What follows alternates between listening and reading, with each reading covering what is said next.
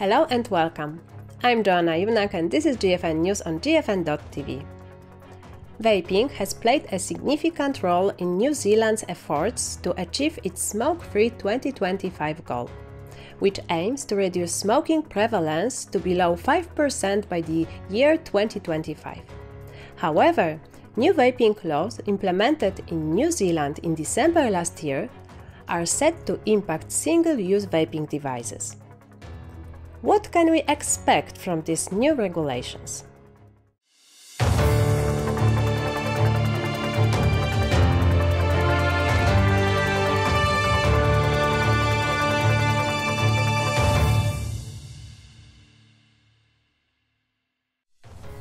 Joining us today to discuss the current situation in New Zealand and the impact of the new regulations across the region are Jan Walsh, a tobacco harm reduction advocate from New Zealand, and Nancy Loucas, Executive Coordinator of the Coalition of Asia Pacific Harm Reduction Advocates.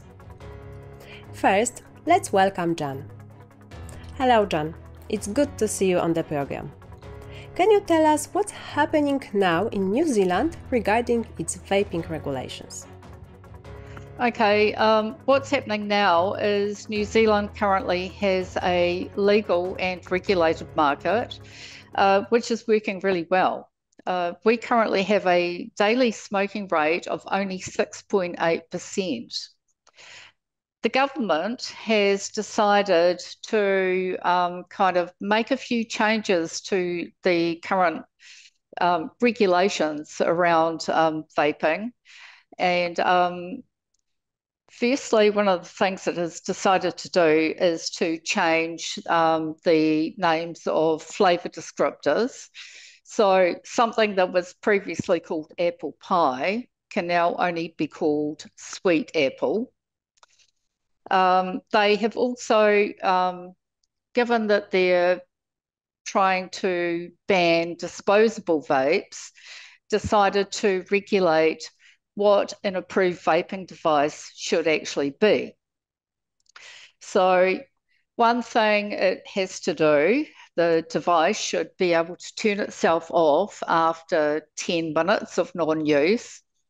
It should have a five click on, five click off, stop and start, you know, turn it on, turn it off.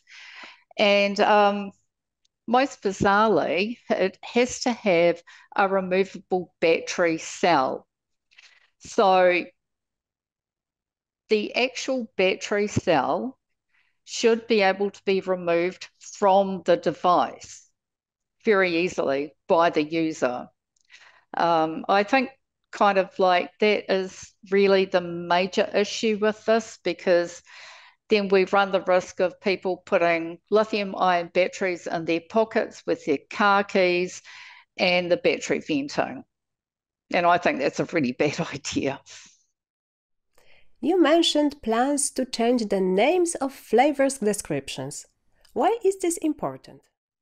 Okay, I, I the the whole thing I think comes from the perception that there is some kind of youth vaping problem, and so that's why we you know need to get rid of disposable devices, devices which will also get rid of you know pod systems and basically a lot of the vaping market as it stands. Um, and so the flavor descriptions, I, I mean, you know, regulators, I think, always freak out at something that's called, you know, um, bubble gum or whatever. So now, yeah, as I say, apple pie will turn into something called sweet apple. Um, you know, does that make a difference to the way it tastes? No. Um, but, you know, uh, it, it kind of presumes that children kind of like want to um, uh, start vaping because of the flavors, which um, I don't think is really held up by the evidence. Let's talk now about experts' reactions to these changes. Have you heard any pushback against these proposals? Um, I haven't seen a lot of talk from the experts. Um, our experts in New Zealand, um, you know, well, our tobacco control people, um, have been more um, uh, focused on uh, the idea that our current government is getting rid of um, the last three changes to the Smoke Free Environments Act, um, which was um, involving uh, tobacco products, and um, they were kind of more hung up on that. Thank you, Jan, for your update. Now let's welcome Nancy to the program. Nancy, thank you for joining us today. Jan has just summarized the current vaping situation in New Zealand. I wanted to ask you what influence this regulation will have in the context of global tobacco harm reduction in the region. Um, okay, well, it's a little.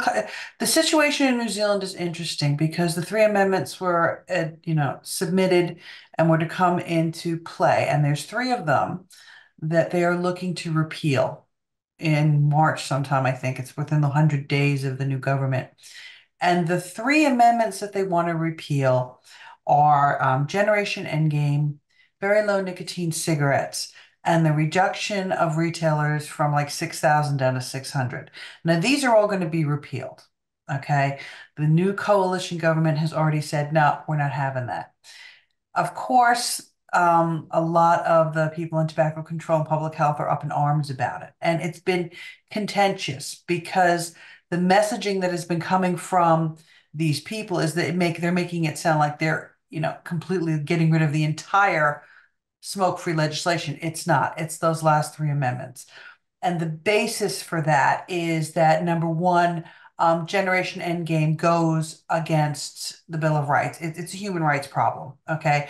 It'll be very difficult to sell a pack of cigarettes to somebody who's 41 and then somebody who's 40. Okay. And it's just, it sounds, you know, when they when they announced it, it sounded really good. It was like, wow, world breaking and all of that. Obviously, I mean, Malaysia was going to follow suit. They pulled it because of the human rights issue. The UK is looking towards doing it, you know, so it was groundbreaking. So I suggest that a lot of the angst about that is because it is being repealed, um, you know, and they wanted to be, I mean, the first, right, to do it. Um, the very low nicotine cigarettes, the issue with that, of course, is there's only one supplier.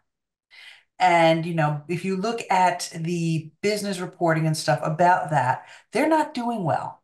So it'd be very hard to implement a very low nicotine cigarette requirement when there's one company that provides them. And if they go belly up, what happens? Okay. So it's not a competitive market. I mean, if other, if, if there was logically thinking, if there was a market for very low nicotine cigarettes, everybody would have, have a version of it. They don't. Okay. And then as far as the retailer, cutting back on the retailers, there are already mechanisms in place that no new retailers can open up around schools and marae. And it, it, it would predominantly hit small businesses. It would predominantly hit immigrants and the Indian community. Okay and you know they are very much conservative voters. And yes it probably is a bit of a play towards them because they're you know the new the coalition government those are their people right? As i've said before multiple times the new zealand regulations are good regulations. The problem is in the enforcement. Now taking that and expanding that out into the region is that what that's pretty much what you're going to ask me for right? Um when you look at the Philippines, everything they've done is based on what happened in New Zealand, and it's working. Okay. It, there's never going to be one of these things where you snap your fingers and all of a sudden all the problems are solved. It, it, it boils down, it has to be a concerted, coordinated effort that includes not just, you know, getting legislation passed and getting good regulations, but enforcement, education, um, and it's it's working. I mean, New Zealand, I'm sure Jan has said to you, our smoking rate is, is plummeted. Okay. And when they talk about, you know, youth vaping rates, because you know, Ed, we just got through like the COP, and that was like the big issue is oh, the children, the children, the children. It doesn't exist. You know, you're never going to have zero children doing something that adults do. It just doesn't happen. But that's kind of where we're at. So do I think New Zealand's a really good um, influence on Asia Pacific? Absolutely. You know, especially when you look at what's going on in Australia. It's a fail. Okay. And we all know that what Australia is doing is pretty much after watching that COP, what Australia is doing is pretty much what the, what they want. FCTC wants globally, and it's not going to work, and it's not working. Let's briefly talk about the recent COP10 in Panama. What are your thoughts, especially since some treaties to tobacco harm reduction were apparently postponed? Where does one start when thinking about COP10? Um, we, as a as a whole, people who are harm reduction advocates, the main issues were postponed to 2025. That's good. Um, but watching that and seeing the way those people at the dais were responding to countries that wanted to discuss harm reduction and wanted to promote it, that was very disheartening and very, ang- it made me angry. It, honestly, it made me angry because they're not, they, harm reduction is intrinsically part of what they're supposed to be doing. And some of the things that transpired, you know, during the COP and mainly from the NGOs, I was not impressed with what the GATC was saying and the, you know the, the Philippines, you know, giving them another dirty ashtray award for what? For promoting harm reduction? That's part of the treaty. Um, bullying countries, you know, you this is what we want to do and you're wasting our time. No, they're not wasting your time. This isn't about you. This is about the countries. This is where people are supposed to get together and hash this stuff out, not just follow your script. So it was maddening, absolutely. Um, I was happy to see that it was a little more open than it usually is, even though it was maddening to watch. But, you know, I think they've shown themselves for who they really are. And that's something that we all need to capitalize on is like, look, here it is. They opened it up. We got to see it. Excuse me. Here it is. They opened it up. We got to see it. And it's not pretty. It's everything we thought it was and worse. And now we need to address it. Thank you, Nancy. Thank you, Jan. That's all for today. Tune in next time here on GFN TV or on our podcast. You can also find transcriptions of each episode on the GFN TV website. Thanks for watching or listening. See you next time.